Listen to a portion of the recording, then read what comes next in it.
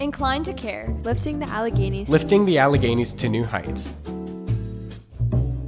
Keep in mind, back in the 60s and 70s, it was much busier than it is now. Sometimes we hear that there's nothing to do in the area. Yes, Johnstown's not, you know, as big as Pittsburgh or Philadelphia.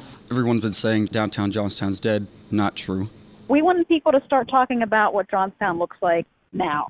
From Walnut Street to Clinton Street. And Washington to Vine, downtown Johnstown has seen a spike in entrepreneurship and is back in business.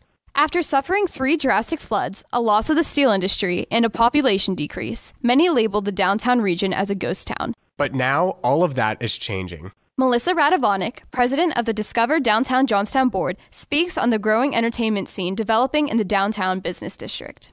Between the movies in the park, the Christmas tree, the community garden, the scarecrow competition, everything that we do is for our greater Johnstown community, and it is alive and well. Discover Downtown Johnstown has been promoting the downtown business district through the campaign Alive and Well and Open for Business. It's a very unique mix of businesses. You can buy a car in downtown, you can buy a tuxedo, a prom gown, jewelry. You can have any type of food or drink that you want. I can vouch that the pendulum has swung and our downtown is coming back. We spoke to several downtown entrepreneurs about the push for local businesses taking downtown by storm. Here is Dan Schaefer, owner of Flood City Cafe and Escape Rooms Johnstown, on why he chose to open his businesses downtown. We just love downtown Johnstown. While it has its struggles, it's also a place that has a lot of opportunity and a lot of hope. So we wanted to be part of that. Amanda Ardem, owner of the newly opened Balance restaurant, adds The reason we chose to open downtown was because of the push forward from a lot of people trying to make the downtown better. There's a lot of amazing things in downtown Johnstown. Balance opened in March of 2018 and quickly became a staple of the downtown social hub. The restaurant's farm to table cuisine not only offers a healthy menu to its customers, but also supports local farms. When asked about the community presence, Artem discussed downtown's new atmosphere. It's continuing to grow, which is the coolest thing. There's so many people here really trying, and you see a difference on a Friday night. You see people walking around downtown. Dan Schaefer agrees. So many of the business owners have been able to together and just try to look at okay, we're all doing this together. But in general, I've just seen a lot of business owners come to the understanding that a rising tide raises all ships. The work that we do affects each other.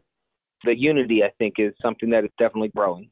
Local business owner Taylor Clark witnesses this fellowship firsthand, co owning two of Johnstown's oldest businesses, Miller's and Coney Island. Coney Island had been a landmark of Johnstown for more than 100 years until it closed its doors unexpectedly in 2017. However, the community rallied behind Clark to help him reopen just one year later with great support. People have come back in droves. Ever since we remodeled and brought some new people in, myself and my mother as well, people came back and um, willing to give everyone a second chance down here. Just as Clark said, Johnstown gave Coney Island a warm welcome as the restaurant reopened its doors to its loyal customers.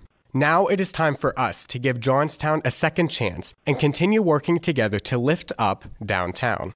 Everybody's here for the same reason, and that's to make things better. And there's nobody here that's trying to deter from that right now.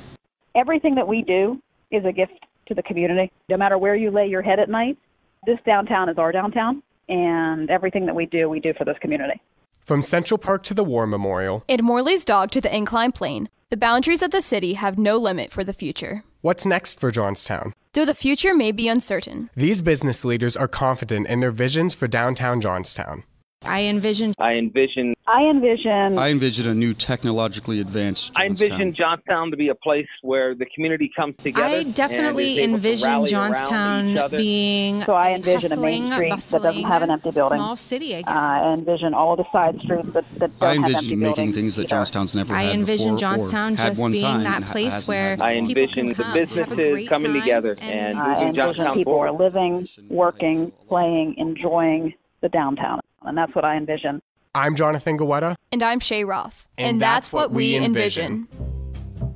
Inclined to Care was produced by students participating in the Community Foundation for the Alleghenies Youth Philanthropy Internship Program with support from the Saturday Light Brigade. All statements or opinions are those of the speakers and do not necessarily represent those of the Community Foundation for the Alleghenies or any collaborating organization. More information on the Youth Philanthropy Internship Program is available at www.cfalleghenies.org.